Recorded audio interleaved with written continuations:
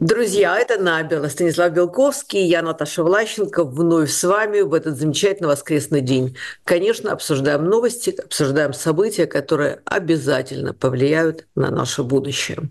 Стас, добрый день. Привет, Наташа, всем доброго воскресенья. Ну вот э, начну, конечно, с того, что Владимир Зеленский... Идут как бы два параллельных процесса. Владимир Зеленский э, постоянно, так сказать, прилагает огромные усилия к тому, чтобы э, как-то организовать то, что называют справедливый мир, переговоры, которые э, могут обеспечить этот справедливый мир, встречается со многими лидерами, постоянно говорит об этом в своих обращениях. А Путин, так сказать, на БРИКСе говорит о том, что, конечно, они не против любых переговоров и любых контактов. Но, а, конечно, это не может касаться территории, это не, оккупированных уже, это не может касаться других российских приоритетов. То есть он в который раз заявил, что речь может идти только о капитуляции, только об этом. В общем-то, ну и уже понятно, что а, никакого общего языка найти невозможно в этом смысле. Но, но невозможно и бесконечно продолжать войну, э, боевые действия высокой интенсивности, поэтому я думаю, что объективно, и даже независимо от исхода выборов президента США, до которых осталось совсем немного, результат которых не ясен будет до самой, до самой финальной точки, да, э, речь пойдет о прекращении огня на нынешней линии фронта, то есть о том самом корейском сценарии. Надо сказать, что саммит БРИКС, который прошел в Казани, он не принес каких-то содержательных результатов, хотя в имиджевом плане, безусловно, может считаться успехом Владимира Путина, поскольку к нему приехало много лидеров, включая таких важных, как Си Цзиньпин, Нарендра Моди и Реджеп Тайп Эрдоган.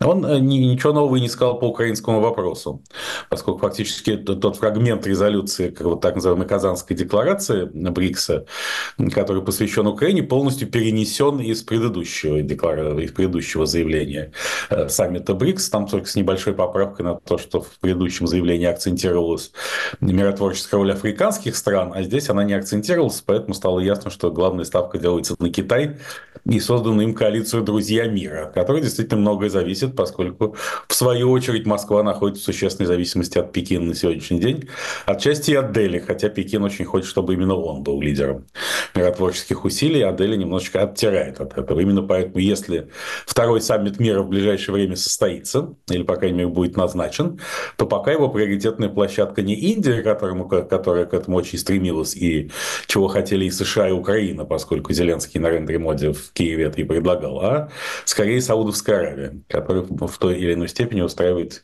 всех, а Китай больше, чем Индия. Ты говоришь, что речь идет о прекращении огня по линии размежевания, да? Ну, например, мне теоретически понятно, что может нас согласиться на это, это, ну, потому что мы очень сильно зависим от западной помощи. Если вдруг каким-то образом э, эта помощь перестанет поступать, но это теоретически, да, может стать такой вопрос. А что может Путина заставить э, остановиться на вот прекратить огонь? Ресурс у него еще есть. Да, ресурсов у него еще есть, но немного. Ну, как, экономические ресурсы, безусловно, у него есть.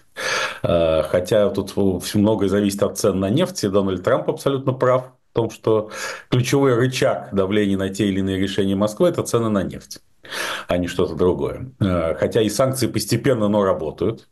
Вот глава госкорпорации «Российские технологии» Сергей Чемезов, один из э, ближайших сподвижников Владимира Владимировича Путина, он на этой неделе, наконец, вопреки долгим широковещательным заявлениям прежних периодов, заявил, что Россия прекращает экспорт вооружений. При этом он же в нескольких ситуациях изложил разные версии, почему прекращается экспорт вооружений. То потому, что вооружения есть, но все они нужны для, для украинского фронта, то совсем наоборот, что вооружений уже нет. А их нет потому, что в силу финансовой политики Центрального банка России, который повышает постоянно ключевую ставку, эм, военно-промышленные предприятия не могут брать и обслуживать кредиты. Это все-таки разное. Или вооружение есть, но не самим, самим мало, или их нет вовсе. Э, но ближе к истине вторая версия, что с производством вооружения есть существенные проблемы, но не только и не столько потому, что растет ключевая ставка Центрального банка. В конце концов, государство могло бы субсидировать процентные ставки по кредитам военно-промышленному комплексу, отчасти оно этим и занимается. А потому что все-таки российский ВПК очень и очень зависим от западных технологий и комплектующих. Эта зависимость во времени все больше и больше проявляется. Вот недавно тот же Чемизов Говорят, правда, что он находится на грани отставки, и с этим связана его неожиданная и несказанная откровенность. Да, признал, что вот, так сказать, Airbus произведет в, этом году 700 самолетов, Boeing более 400, а российские, российское авиастроение один самолет, Ту-214. Хотя еще недавно обещали несколько сот самолетов, а то и тысячу до 2030 года, но уже почти официально признано, что это был фейк и блеф. Это было всем ясно, но все-таки нужно было дождаться э, признания признания от непосредственных виновников торжества. Поэтому санкции тоже работают и тоже являются ресурсом э, истощающим Российскую Федерацию в смысле ведения войны. Ну и, наконец, пресловутые северокорейские военные в Курской области говорят сами за себя. Если бы у Путина был большой запас прочности в плане живой силы, притока контрактников и так далее, ему никакие северокорейские военные не были бы нужны. Людей нет. И нужно или объявлять новую волну могилизации, чего он не хочет, в крайнем случае, конечно, он на это пойдет, но только в крайнем случае, или все-таки прекращать войну по линии фронта, приостанавливать боевые действия по линии фронта. О корейских военных мы сейчас поговорим с тобой чуть подробнее. Вот у меня там есть вопрос. А вот все-таки по торговле оружием. Знаешь, есть же белое и серое. С одной стороны, э, ты действительно прав, что они в белую не хотят больше торговать оружием. Но вот любимец Путина Виктор Бут проводит, говорят, объемы его контрактов по-прежнему очень большие. Все эти... Запомню автоматы Хуси, там, э, вся черная торговля в Африке и в Ливане, и в других странах, которую возглавляет нынче этот самый Виктор Бут, она вовсю производится. Да, ну нет, конечно, Виктор Бут никуда не делся, он остается на этом рынке. Вот только что сбили в Судане э, российский военный самолет, на борту которого оказался бизнес-партнер Виктора Бута. И, собственно, из самого факта обнаружения тела этого человека выясня, вытекает, что значит, Бут снабжает э, суданские власти какими-то российскими вооружениями. Э, но все равно БУТ не может заменять э, государственные структуры в полном объеме. Все равно это какой-то небольшой сегмент э, российских оборонных поставок на внешние рынки. Это поставки действительно серые и черные. А сказать, вопрос в том, что российский ВПК не может производить вооружений новых. Просто может торговать со складов, запасов, советскими вооружениями. Особенно для африканских стран, которые весьма непритязательны в этом смысле. Там никакие современные вооружения не нужны. Им нужны в основном всякие автоматы и, так сказать, и переносные зенитно-ракетные комплексы для такой полупартизанской войны. Да, это, так сказать, тут... А они противоречат Б.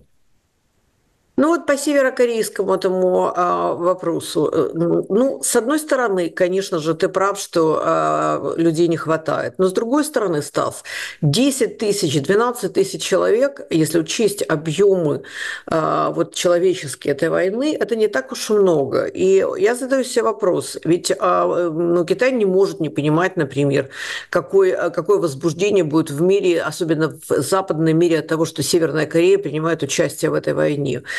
А, если, повторяюсь, звезды зажигают, значит, это кому-то нужно. Для чего понадобилось вот сейчас пригонять этих людей? Их обкатывают каким-то образом во время боевых действий для будущей войны, еще что-то происходит. Это я так фантазирую, я не знаю. Нет, ну, обкатывают их само собой. Другое дело, что, в общем, эта обкатка для многих из них обернется гибелью. Ясно, что северокорейскому лидеру эти люди также не важны, как и Путину россияне, или даже гораздо больше. Все-таки цена человеческой жизни в России по-прежнему выше, чем в Северной Корее и в Китае. И не случайно, собственно, поэтому и механизм больших выплат за контрактником работает. Если людей было совсем не жалко, то Путин провел бы уже могилизацию, он ее не проводит. Э, вот. Но 10-12 тысяч для операции в Курской области, это, очевидно, существенно, тем более, что это не простые бойцы, а так, видимо, представители элитной пехоты и спецназа, корейцев, которые имеют определенные, определенные навыки. А, и, но сам факт, что их надо привлекать, что без них нельзя было обойтись, что действительно это большой международный скандал, уже говорит сам за себя.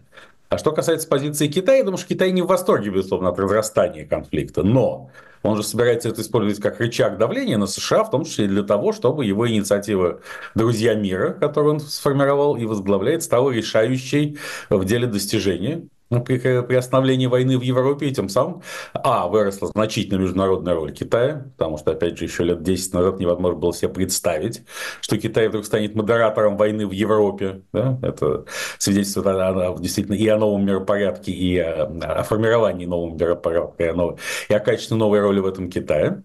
И, конечно, Китай будет продолжать торговаться по тем вопросам, которые его интересуют. В первую очередь, это с, э, снижение или снятие торговых барьеров, это э, снятие американских ограничений на технологический импорт и так далее, и так далее. Поскольку для Китая все это вопросы жизненно важные, особенно в ситуации не, не очень, не, не радостного и не радужного положения китайской экономики. Вот, кстати говоря, о БРИКСе ты говоришь, что никаких не было результатов особенных, и мы действительно видим в публичной плоскости там все эти разговоры ни о чем, пресс-конференции, на которых говорилось то, что мы уже тысячу раз слышали. Но вот ходят слухи, что если, скажем, экономический их план там, сделать независимую валюту, новую, еще что-то, это, до этого это чистая фантазия, до этого очень далеко, но говорят, что там происходят кулисные переговоры о создании новой системы безопасности, о подписании военных договоров между странами, которые являются членами членами БРИКС ли, э, причастны э, э, к ним. Вот насколько вот это реально? Ну, саммит БРИКС в Казани имел тот же эффект, что, например, недавний визит Путина в Монголию. Зачем Путин ездил в Монголию? Угу. Только для того, чтобы показать, что страна, ратифицировавшая статут Международного уголовного суда, его таки не арестуют. Да, и поэтому все разговоры о том, что он не может ездить по, по миру, как бы тщетно, хотя он не, не собирается обильно ездить по миру. Но все-таки нужно было создать прецедент. Так и здесь. Вот нужно было показать, что он не находится в изоляции, что даже весьма солидные лидеры крупных стран к нему в гости приезжают. Но что касается оборонных альянсов, во-первых, там ну, Турция собирается там вступать в БРИКС и так далее, но это не противоречит никак ее обязательствам перед НАТО. И, в принципе, я не думаю, что в ближайшее время мы увидим какой-то новый серьезный оборонный альянс. Да, потому что у, у каждой крупной страны, входящей в БРИКС, есть свои представления о том, как устроена безопасность. И эти э, представления вряд ли качественно изменятся в ближайшее время. Кроме того, сам Путин всегда говорил, что он против альянсов. И надо сказать, что здесь он не лукавит, как ни странно. Вот он единомышленник Павла Валерьевича Дурова, основателя Телеграмма. Павел Валерьевич э, э, в свое время предъявил миру важный тезис, что жить надо одному, потому что когда ты живешь не один, ты становишься заложником привычек другого человека. Вот в переводе с Доровского на путинский это звучало бы так. Страна должна быть в одиночестве, потому что когда ты находишься в каком-то альянсе, ты становишься заложником интересов твоих партнеров по альянсу. Но это хорошо, если ты начальник альянса.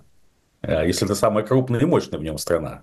А в рамках БРИКСа Россия никак не может быть начальником альянса, поскольку там есть э, более крупные и мощные страны Китай и Индия. Поэтому тут в этом альянсе Путин не может быть заинтересован. Может быть заинтересован в каких-то подковерных играх, сделках, обмене информацией, как, например, Кремль поставляет, э, разве, как теперь мы выяснили, разведывательную информацию йеменским хуситам, движению Ансар Алла для планирования нападений на суда в, в Персидском заливе, в, в, в, Красной, в Красном море. Да? Это все да, но для этого не нужны никакие формальные альянсы и не нужен, собственно, сам БРИКС, который по-прежнему остается весьма аморфной структурой, э, без, так сказать, без устава, без постоянно действующих органов и без единства интересов его участников. Потому что ну, у тех же Китая и Индии очень много противоречий. Никакой БРИКС сгладить эти противоречия не в состоянии.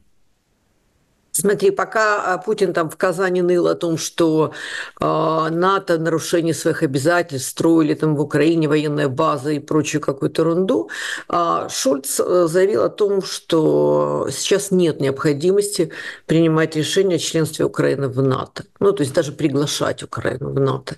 И что это означает с твоей точки зрения? Что, в принципе, да, значит, надежд да. никаких на ближайшее время нет, насколько нет, я понимаю. Нет, ну, собственно, их и не было. Я никогда не относился к числу евро евроатлантических оптимистов применительно к Украине. Кроме того, мы с тобой не раз говорили, что, собственно, а нужно ли НАТО так сказать, или надо подумать о каких-то других как раз формах военного альянса, идущего на смену НАТО, потому что как и ООН, НАТО, при всем к нему уважении, конечно, это гораздо более мощная структура и гораздо более дееспособная, чем ООН. Но это все таки так или иначе, это рудимент Ялтинско-Потсдамского мира, который начался в 1945 году и закончился в ноябре 1989 с падением Берлинской стены. И э, эффективность НАТО как оборонительного союза мы еще ни разу не проверяли на практике. Пока операции НАТО все были не оборонительными, а наступательными, происходили вдали от Европы. И в ситуациях, когда превосходство США и их союзников над оппонентом было совершенно очевидным. Ну, типа как там в Афганистане и Ираке. Только чем все закончилось потом. И, кстати, нынешняя вакханалия, связанная с Ираном, резкое усиление Ирана, безусловно, является одним из важных последствий иракской войны, устроенной Соединенными Штатами в 2003 году. Потому что в результате свержения Саддама Хусейна, как и предполагалось, тогда это был совершенно не бином Ньютона. Это все знали и понимали, кроме почему-то американского руководства, которое не уделило этому должного внимания и не придало значения, что Ирак перейдет в сферу влияния шиитского Ирана, поскольку большинство населения Ирака составляют шииты. Так и получилось. И все, что потом удалось сделать Ирану, все это ось сопротивления, это во многом связано с крушением Ирака в 2003 году. А, американские элиты тогда, в общем, э, э, не впервые, конечно, но впервые в новейшей истории показали, как они не могут просчитывать более чем на один ход вперед. А, ну, уже к этому моменту уже был и Будапештский меморандум, где они точно так же показали, что они не могут просчитывать больше, чем на один ход вперед. И война в Югославии, и много еще чего. Это все мы пожинаем плоды вот этих больших ошибок, совершенных Америкой в те годы, когда она была совершенно безальтернативным лидером не только свободного мира, но и э, мира вообще. И Олаф Шольц э, просто совершенно чудно, что прекратить войну по линии фронта в условиях открыто сформулированного приглашения Украины в НАТО не удастся. Шольц эту мысль транслирует фактически. Э, с БРИКСом связан еще один скандал э, с приездом туда Гутерриша. И а, вот опять же, э, как раз это из, из области, если звезды зажигают. Ну, понятно, что мы много раз обсуждали там, неэффективность ООН, коррупционность ООН и так далее. Но чего-то же дедушка туда, извини, приперся, что-то он приехал туда. Значит, что-то за этим стоит. Может быть, Разумеется. Может быть, он надеется, что э, ведь э, понятно, что вскоре начнется процесс реформирования ООН. Может, он надеется заручиться поддержкой этих стран, может, еще какие-то причины. Да, разумеется, ему очень важно начать процесс реформирования ООН, потому что этот процесс и должен спасти Организацию Объединенных Наций и показать, что она все еще нужна. Ну, потому что дедушку тоже не очень уважает. Вот ему закрыли въезд в Израиль, да, вот, угу. кажется, ничего не случилось, правда? Тоже это еще недавно невозможно было себе представить. Э, там Зеленский отказался с ним встречаться, тоже ничего страшного. А, э, это стандартная логика бюрократии, как она существует много тысяч лет. Э, если над тобой нависает упразднение твоей бюрократической структуры, ты должен заняться ее реорганизацией. И тогда на время реорганизации вопрос об упразднении стоять не будет. Да, Гутерриш вдруг неожиданно понял, что он должен придать новый смысл Организации Объединенных Наций самому себе э, при отсутствии старого. А этот новый смысл состоит в том, чтобы расширить число постоянных членов Совета Безопасности и вообще реформировать ООН в направлении большего учета интересов э, Китая, Индии, Бразилии и так далее. Стран БРИКСа, в общем. Хотя это, э, их принадлежность БРИКСу весьма условна и аморфна. Вот он этим и занимается, конечно, и поэтому он поехал к спонсорам реформы ООН. Потому что если реформа ООН начнется, если она будет обсуждаться, значит, ООН все-таки кому-то нужна. Вот из этого генсек ООН исходит. Что хотел Эрдоган? Зачем он там? Потому что... Прошу да... прощения, извини, я не, не, неправильно сказал. Китай и так является, естественно, постоянным членом Совета Безопасности, а расширение числа постоянных членов за счет Индии, Бразилии и так далее. Потому что действительно я согласен с тем, что состав постоянных членов Совета Безопасности отражает итоги Второй мировой войны с оговоркой про то, что там был Тайвань, а Китайская республика изначально один из создателей ООН. А потом э, Ричард Никсон и Хенри Киссинджер в рамках своей победоносной реаль-политик Тайвань выкинули и включили туда большой коммунистический Китай, с которым они теперь э, э, последствия этого решения расхлебывают по сей день. Да, вот. А так, конечно, собственно, почему бы Индию и Бразилию не включить в число постоянных членов? Главное, говорю, можно несколько лет подряд об этом спорить, и тем самым он будет казаться, что он действительно что-то важное, а так из-за этого спорит. А как, как там пословица гласит, Кош, кошка из дому, мыши в пляс или как? Эрдоган уехал э, на БРИКС, и тут э, у него случился довольно серьезный в стране теракт, да, было атаковано космическое агентство, серьезная очень организация. И, э, ну вот, я смотрю, какие вопросы он обсуждал с Путиным. Зерновой коридор, э, обмен э, пленными в российско-украинской войне, разминирование в Черном море. Стоило ли это все, чтобы приезжать на БРИКС? Ну, Эрдоган же хочет сидеть на всех стульях сразу, как мы знаем. Он и продолжает это делать. Это его сознательная и последовательная политика, как стратегическая, так и тактическая. Поэтому и поехал на БРИКС и объявил о своем желании вступить в БРИКС. А я говорю, что само себе вступление в БРИКС ничего не требует, не налагает никаких обязательств на страну, поэтому почему бы не вступить-то, если можно. Тем не менее, Казахстан не, заходил, не захотел, уклонился, хотя он является сателлитом Китая, но он уклонился почему-то. Ну, значит, э, Китай дал ему понять, что в этом нет необходимости. Да. Ну, вот, вот и все. сказать, э, Казахстан тоже, естественно, несмотря на то, что его приоритетный старший партнер Китай на сегодняшний день, он тоже лавирует, и у него есть еще как минимум два потенциальных партнера России и Турция, но и при всем при том, естественно, Казахстан совершенно не собирается ссориться с США. И, собственно, как сказали на полях вокруг саммита БРИКС э, высокие должностные лица Казахстана, они такой выдали внутренне противоречивую довольно, но абсолютно подлинную формулу, что Казахстан, разумеется, не присоединяется к санкциям против Российской Федерации, но фактически их соблюдает. Ну, то есть присоединяется. Там, Интересно. Никаких проблем с Америкой тоже, так сказать, тоже ему не надо. Вот. А что там случилось с терактом в Анкаре до сих пор не ясно. Во всяком случае, наводит на мысль Э, ситуация, при которой Турция сразу знала, кто организатор этого теракта, что это курды, рабочая партия Курдистана. Прямо на следующий день утром нанесла удары по каким-то позициям курдов. Э, ну, в общем, такое впечатление, что все, все было, так сказать, что это был хорошо подготовленный экспромт, который тем более позволил Эрдогану срочно смотаться с саммита БРИКС. То есть, видимо, он хотел туда приехать, но не очень хотел там задерживаться ну, как-то сильно аргументы они подготовили загодя. Все-таки там погибли люди и прочее. Но не, ну, а э, хочу поговорить об американских выборах еще. Понятно, что последние дни, понятно, что они обмениваются. Будет ли еще черный лебедь вопрос, да, какой-нибудь, потому что это самые напряженные дни.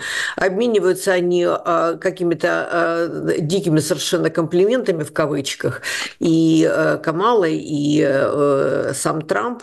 Но вот интересно мне здесь участие Э, социальных сетей в этом процессе, потому что совершенно очевидно, что Google, э, Google на стороне э, демократов, а Илон Маск, там, например, на стороне республиканцев, бывшая жена основателя Google, да, а некая, так сказать, Николь Шинахан ездит с Трампом, там выступает за него, причем это миллиард, который дал ей бывший ее муж, основатель Google, да, при разводе. Она его тратит сейчас на, собственно говоря, на выборы Трампа. И ну, делает... Ну, формулировка «дал ей бывший муж» не вполне корректная, но получила при разводе по закону. Ну да, да. Ее Она... законный, закон, законный миллиард.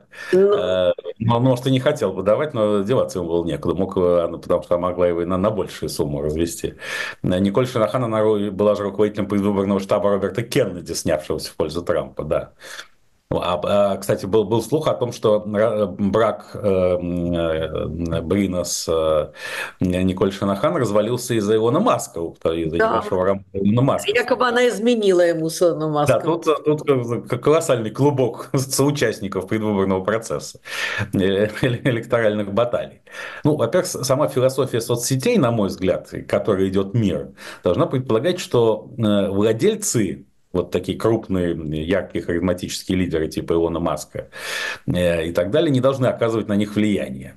Соцсеть должна быть децентрализованной автономной организацией, принадлежащей всем ее участникам, которые устанавливают правила игры, утверждают их большинством голосов и придерживаются их. И влиять на контент соцсетей в этом смысле нельзя.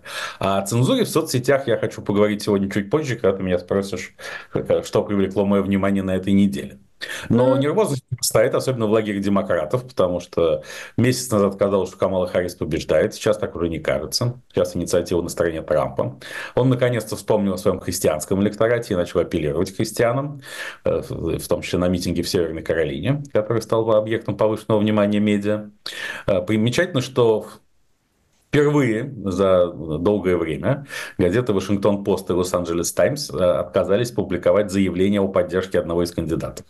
Точнее, журналисты обоих изданий предлагали манифесты в поддержку Камалы Харрис, но владельцы и топ-менеджеры изданий заблокировали эту историю, сказав, что нет, никого поддерживать не будем. Это уже говорит о, о, о том, как высок градус напряжения ситуации. То есть все, многие ждут победы Трампа, безусловно, и очень боятся, что при мстительности 45-го президента США и, возможно, 47-го лучше сейчас ради резких шагов телодвижений не делать.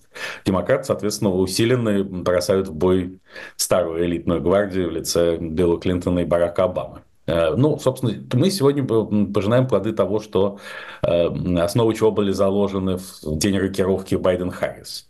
Уже тогда говорил, что Харрис самый слабый из возможных кандидатов, и, конечно, нужно было выдвигать по уму Мишель Обаму. Ну, может быть, Мишель Обама этого совсем не хотела, а может быть, сработала просто бюрократическая логика, она, безусловно, сработала, что если начальник уступает свое место, то ему на смену должен прийти заместитель, а не кто-то другой.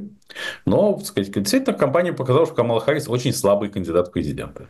Конечно, Дональд Трамп с его харизмой и опытом выглядит гораздо ярче независимо от того, как относиться к другим сторонам этой многогранной личности. Мы знаем, что его бывший руководитель аппарата Джон Келли здесь опубликовал откровение о том, что Трамп восхищался Гитлером и хотел, чтобы его подчиненные были как гитлеровские генералы. Хотя гитлеровские генералы были далеко не всегда и не во всем лояльны Гитлеру, поэтому это, опять же, пример, э, исходящий из, из неточного знания истории, как и все у Трампа. Он знает много, но не точно. Э, и, но хорошо или плохо это слабый президент, это отдельный большой вопрос. А, потому что слабый президент плюс сильные институты – это лучше, чем наоборот. Сильный президент, чем и слабый институт. И в любом случае, кто бы не победил 5 ноября, во-первых, еще неизвестно, в какой день будут официально объявлены при итоге выборов, признаны всеми. Я думаю, что стороны еще будут бодаться за, за результаты не, не, все так очевидно. И, и мы констатируем, что в отличие от э, старых добрых выборов 80-х, 90-х, нулевых годов, это настоящий Армагеддон. Э, потому что одна сторона не может допустить победы другой, буквально. Но все-таки и придется признать победу другой. А, и это значит, что роль президента США ослабнет, поскольку половина страны, в общем, не будет считать его в полной мере своим президентом в отличие от истории прежних лет, прежних десятилетий и столетий. Да? Значит, и хорошо, что она ослабнет. Это пол, полное отражение глобального тренда на уменьшение роли иерархического государства и увеличение роли всех и всяческих сетевых структур. И в этом я вижу тоже большой и важный сакральный смысл именно нынешних выборов президента США. При том, что оба соискателя приза, они олицетворяют каждый свои глобальные тренды. Э, Трамп олицетворяет поиск Западом э, утраченной им христианской идентичности. Он же отражает именно ослабление иерархического государства и глубинного государства. Камала Харрис э, олицетворяет женское правление и примат институциональной легитимности, а заодно вот то, в чем ее обвиняет Трамп, как э, называю ее марксисткой, это э, отчасти справедливо, хотя, естественно, Камала Харрис никакой не индоктринированный марксист, но э, марксистская повестка, как мы с говорили, тоже выходит на передний план, в частности, вопрос там, от по способностям, каждого по потребностям и отчуждение труда и так далее. И, сказать, это значит, что вот с этой, с этой точки зрения оба они заслуживают того, чтобы с, с точки зрения истории и логики истории, они оба заслуживают того, чтобы быть президентом президентом. Именно поэтому я не берусь судить, все еще никто из них будет. По прогнозу сегодняшнему, не вчерашнему Нью-Йорк Таймс и Сиенского колледжа, они идут ровно ноздря в ноздрю 48-48, хотя еще месяц назад было 3% в пользу Камалы Харрис. И совершенно неясна ситуация в колеблющихся штатах, э, в том числе в крупнейшем из них Пенсильвании, где, который дает 19 выборщиков, потому что по, по данным разных социологических служб, то лидирует то Трамп, то Харрис, а так, в общем, без пол-литра не разберешься. Кстати, хочу у тебя уточнить один, один нюанс. Если внимательно слушать выступления ну, на различных митингах в различных штатах Трампа, то совершенно несложно зафиксировать один, одну любопытную деталь. Он говорит а, совершенно спокойно, на голубом глазу, диаметрально противоположные вещи. Ну, то есть, а, война в Украине проиграна. А, ну, если я приду, я быстро все остановлю, скажу, я ударю по Москве, и все будет хорошо. Или там он, он против аборта вроде бы, да, а, но в некоторых штатах он говорит, что женщину нужно уважать, я защищу всех женщин обязательно, они будут защищены и так далее. И так можно продолжать до бесконечности. Разумеется, но это классическая позиция шоумена, разумеется. С точки зрения, это его личная позиция, или это все-таки политтехнологический прием, где, чтобы... Всегда... как, как, всякий, как всякий джокер-шоумен, э, он в политтехнологах не нуждается. Вот Камала Харрис вся сделана из политтехнологий у нее нет ничего своего. Как совершенно правильно говорил кто-то из ее анонимный соратник, процитированный, кажется, Вашингтон Пост дни, когда э, решался вопрос, поступится ли Байден, уступит ли в ее пользу. Э, значит, это пустой мундир, который можно надеть на любой манекен. Это действительно так. Поэтому как только Камале Харри задают неподготовленный вопрос, она начинает теряться и плыть. То есть, естественно, очевидно всем, и что сказалось тоже на ее рейтинге неблагоприятно и на ее предвыборных шансах. Нет, Трамп, он, э, это one-man show. Классический, он сам себе хозяин. Я помню, как э, еще, так сказать, в период его первого президентства, там его бывший продюсер шоу Apprentice говорил, что когда уже Трамп стал президентом, он к нему обратился с каким-то вопросом по старой дружбе и говорит, ну я не хочу тебя беспокоить, ты же президент теперь, да, у тебя мало времени. А с кем бы мне поговорить вот по интересующему меня вопросу предварительно, чтобы подготовить сюжет? Вот я могу поговорить с твоим зятем Джаредом, кому ты доверяешь? Обсуждаешь? На что Трамп говорит, я, я только со мной все надо обсуждать, ни с кем. Только если ты хочешь что-то решить, только со мной. Да, это, это действительно так. Это, собственно, есть э, и преимущество предвыборное, и опасность Трампа, что это one-man show распространится на большую политику. Мы видели, как Трамп тасовал кадры, и когда он был, был президентом в первый раз, разумеется, это все вытекает тоже из его шоу «Apprentice», где главной фразой был «You're fired», вы уволены. И это, Трамп к этому привык, и он так и действует в, в действительности за пределами шоу, в том числе в своей, в своей политической деятельности. Но это, эта маска абсолютно приросла к его лицу. Но нет, он, этот, этот человек он действует интуитивно, инстинктивно, он талантлив в этом, и, и ему советы не нужны. Эм, Просто он готов говорить то, что нравится аудитории в данный момент, а главное, это во-первых, ну и вообще то, что взбредет ему в голову в данный момент. А он, мы с тобой много раз обсуждали, Шоумен может сегодня не помнить, что он говорил завтра, и, сказать, его это не очень беспокоит, понимает. Потому что он считает, что вот знаменитая фраза Трампа, э, причем эта фраза не простилась бы никому из политиков, кроме него, безусловно. Mm-hmm. Многие бы отвернулись от, от любого другого политика, который это сказал. Но не отвернулись сторонники от Трампа, который сказал, что я могу даже идти в Нью-Йорке по Поклейну расстреливать людей, и мой рейтинг не упадет. На только вырасти. Вот он действительно так подходит к этому. Что бы он ни сказал, неважно, потому что он берет э, свои харизмы и своей мощью. А контент в данном случае вторичен глубоко. Так они же все вторят ему. Когда я разговариваю с республиканскими сенаторами, мне все говорят одно и то же. Вы не обращайте внимания на то, что он говорит. Делать он будет что-нибудь третье обязательно. Поэтому да, он не знает, он не знает, что он будет. В том числе и с войной в Европе. Он не знает, что делать, он об этом подумает, если когда станет президентом. А сейчас он может обещать все, что угодно. Это не нужно трактовать буквально, как минимум. Ну да, унесенный ветром. Я подумаю об этом завтра. Ближний Восток. Не могу не задать вопроса, потому что ты уже сегодня обронил, э, так сказать, о, то, об усилении Ирана фразу. Вот сегодня ночью были там якобы уничтожены пять целей военных, да, там э, ВВС Израиля атаковали юг э, Тегерана, э, какие-то там, они даже назвали какие-то цели, сказали, что операция завершена, э, благодарение Богу на рассвете возвращаемся домой и так далее. Что из этого всего выплывает? Действительно, ты считаешь, что в результате вот этого 7 октября, то, что все происходит, произошло неожиданное усиление Ирана, несмотря на то, что э, Израиль ведет себя довольно мужественно и пытается противостоять. Усиление Ирана произошло после Иракской войны 2003 года. Было одно, одно одним из следствий этой войны. А, это, это не новость. Сейчас скорее происходит ослабление Ирана, связанное с тем, что он изнурен многодесятилетними американскими санкциями, конечно. Вот, э, и ясно демонстрирует, как они работают в долгую. А как и же усиление программы ядерной? А это же усиление, а не ослабление.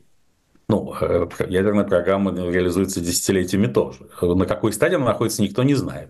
Зато понятно, известно, что Иран хочет новой ядерной сделки с Западом. И поэтому ему выгоднее победа демократов на выборах в США, и поэтому уж на сегодняшний день он точно не хочет эскалации, поскольку любая эскалация в любой точке мира – это минус Камали Харрис и плюс Дональду Трампу. А, вот. Э, а этот обмен ударами, в общем, э, был так или иначе символическим с обеих сторон. Не было целью нанесения критического ущерба другой стороне, ни, ни, э, ни у Ирана, ни у Израиля. Тоже удар довольно символический. Хотя в случае Израиля можем судить о том, что иранский удар 1 октября, он показал, в общем, ограниченную эффективность израильской ПВО все-таки много попаданий было, да, там не уничтожено не погибли люди, практически погиб только один несчастный случайный палестинец в городе Иерихоне. А, значит, не, не, не сказать, пострадали самолеты F-35 и другие жемчужины э, израильской армии, но тем не менее многие ракеты прорвались через ПВО и попали куда-то. Именно, собственно, после этого Америка решила срочно предоставить Израилю систему ПВО ТААТ. Э, то есть это и тем самым выяснилось, что Израиль тоже, так сказать, не то чтобы неуязвим в большой войне, очень даже уязвим. Поэтому здесь нужно отделять риторику от реальных военных, военных планов. Думаю, что вот такое сдержанное равновесие страха на сегодняшний день всех устраивает. И э, Линдси Грэм, легендарный сенатор, заявил, что чуть ли не э, э, Джозеф Байден хочет, чтобы соглашение, мирное соглашение между Израилем и Саудовской Аравией было подписано еще до его ухода от власти. То есть до 21 января 2005 года. И он хочет, чтобы это оставалось его наследием в истории, чтобы не отдать этот приз Трампу или Камали Харрис. Ну-ка, э, постановка вопроса такая, что Трамп это может осуществить и обеспечить, но не хочется ему это дарить, а Камала и не сможет. Вполне возможно. Я не уверен, что успеет до 21 января, но то, что такой пункт в повестке дня, это очень красноречиво и симптоматично. Ну, и ты знаешь, что я очень люблю тебе такие экзистенциальные вопросы задавать во второй половине нашей программы. Вот опрос Германии. Э, Германия страдает от депрессии. Это страна, где нет пока что войны. Да, я уже не говорю об Украине, например. А, цифры вообще, честно говоря, ужасающие. В 2022 году там было диагностировано у 12% с половиной депрессия э, населения. Ну, 12,5% это очень много. Это больше, чем каждый десятый, да? А сейчас уже, наверное, больше, и это прям развивается как эпидемия. Э, вот эта новость о том, что Бритни Спирс вышла замуж сама за себя, она на первый взгляд комична, она тоже говорит о, там, о, глубоких кризисных процессах. Она не одна такая. Поэтому а вот как ты считаешь, почему так растет количество людей, которые... Вот, например, э, психиатр Чебан, очень знаменитый наш, сказал мне, что он считает, что ПТСР, ну, как бы практически поражены, поражены все в Украине, только там по шкале могут быть разные, так сказать, от единицы до десяти. Да? Вот. Почему так растет количество людей, которые э, болеют? Ну, понимаешь, ПТСР в Украине и депрессия в Германии – это две большие разницы. Конечно, конечно. Но, ну, ну, сам процесс… Депрессия, депрессия вообще – это удел, как правило, вот такая массовая депрессия. Это удел благополучных обществ. Угу. Да? Голодным не до депрессии тем, кто должен, так сказать, утром просыпается с мыслью, что ему нечего есть. И надо как-то срочно, срочно решить эту проблему или негде спать. Поэтому он не просыпается, а, так сказать, ну, просыпается он на лавочке где-нибудь в парке в лучшем случае, или под лавочкой на вокзале. Да, а, поэтому это отражение того, что Германия такое заевшееся общество, поэтому там нарастает депрессия. Кроме того, нарастает как из-за кризиса жизненного задания, жизненных ориентиров. Вот, э, поэтому я считаю, что стратегия уяснения своего жизненного задания и выяснения, она здесь для борьбы с депрессией очень важна и уж точно гораздо продуктивнее, чем медикаментозные методы борьбы с депрессией. А, вот, а кроме того, мир все ближе к точке, когда врачом первичного звена станет психотерапевт. И тогда будет выясняться, что ни, ни, ни многих ни психических, ни соматических заболеваний не существует. Просто человек не может осмыслить себя и найти свои координаты в меняющемся мире, потому что все эти психические отклонения в целом это отражение смены эпох. Нарушается привычный образ жизни людей, рушится знакомый мир. Ну и как здесь не, сказать, не быть подвергнутым какому-то, как здесь не проявиться всяким психическим нестабильностям и неблагополучием? Ты знаешь, вот история этого парня из флибуста – это как раз очень яркая иллюстрация э, там, человека жизненное задание, вообще просто достойное отдельного романа. Но пришло время, когда э, я должна тебе задать вопрос, что на этой неделе привлекло твое внимание, какие события? Это внимание, опять же, это смыкается с тем, что мы только что обсудили. Штат Арканзас подал иск против ТикТока о том, что алгоритмы ТикТока, в общем, заманивают людей и тем самым провоцируют у них психические расстройства, которые, в свою очередь, становятся фактором а, зависимости, ТикТок-зависимости. Я думаю, что эта компания будет нарастать в мировом масштабе, а не, не только в Соединенных Штатах. И тут же мы выяснили, что один юный американец покончил с собой под влиянием чат-бота. Он значит, э, стал э, собеседником чат-бота Дейнерис из игры, сериала «Игра престолов». Mm-hmm. Вот. Надо сказать, что я один из немногих людей в мире, и могу попасть даже, может быть, если мне повезет, э, в книгу записи «Она же рекордов Гиннесса», который этот сериал практически не смотрел. Я многие другие сериалы смотрел, но не... Я не смотрела. Я не смотрела, не хотела. Я уступаю, я уступаю тебе тогда место в книге рекордов Гиннесса. Вот. И в итоге это общение довело его до самоубийства, как говорят его родители. То есть, иными словами, вопрос цензуры, э, интернет-цензуры соцсетей снова выходит на передний план. И э, ясно, что мы этой цензуры не хотим. Не для того соцсети создавали, чтобы в них вводить цензуру. Именно их колоссальное преимущество в том, что можно было в бесцензурном пространстве делать то, что тебе хочется, и любой человек, любой житель э, обитаемой суши может стать медиазвездой в кратчайшие сроки. А тем самым уменьшается роль медиакратии, которая стала давно для человечества известной проблемой. Поэтому есть же есть ли компромисс между свободой в соцсетях и избежанием всякой ерунды? Типа только что обсужденный. Есть, на мой взгляд, это добровольная цензура. Это, собственно, механизмы фильтрации контента, который человек устанавливает для себя сам. А, я это бы назвал э, общей системой, так сказать, time protection, защита времени. То есть ты э, делаешь mm-hmm. некие фильтры, которые избавляют от тебя от ненужной, вредной и токсичной информации. Ну, условно говоря, если тебе там интересна судьба Дональда Трампа, то ты получаешь о нем информацию. Если она не интересна, то не получаешь. И да, ты ничего не знаешь о Дональде Трампе, но ты не комплексуешь по этому поводу, что тебе это действительно не нужно. Потому что ты занимаешься выращиванием овец в Новой Зеландии, и для, с этой точки зрения результаты выборов в США совершенно не важны. А важно что-то другое, например, классическая музыка или изобразительное искусство. Я думаю, к этим механизмам защиты времени и тем самым фильтрации ненужной и вредной информации мы скоро придем.